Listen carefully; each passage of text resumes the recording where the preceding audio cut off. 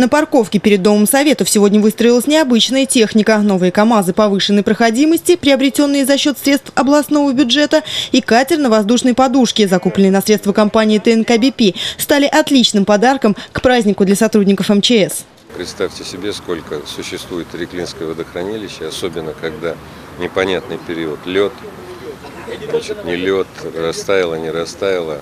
Мы пошли на этот шаг. Компания ТНК БП поддержала в этом в рамках социально-экономического партнерства.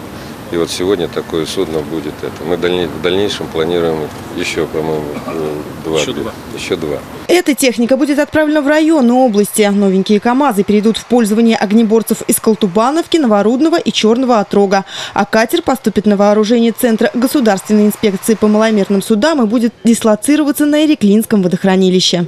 На самом деле сегодня правительство области выделяет огромные финансовые средства для того, чтобы обезопасить э, территорию, обезопасить прежде всего население по вопросам пожарной безопасности, обеспечения безопасности на водных объектах. Заботиться о безопасности оренбуржцев и крупные предприятия области. Катеру, приобретенному компанией ТНК БП в рамках социального партнерства, сотрудники МЧС особо радовались. А директор оренбургского филиала Олег Димов заверил, оренбургским спасателям подарили превосходную технику.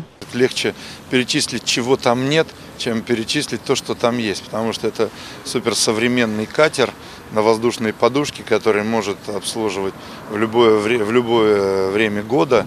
И самое главное, что когда встал вопрос по э, просьбе э, Главного управления ГОЧ, что такого судна у нас не было, губернатор принял решение, призвал нашу компанию оказать содействие в приобретении такого судна. Карина Тимкова, Роман Боричев. Будни.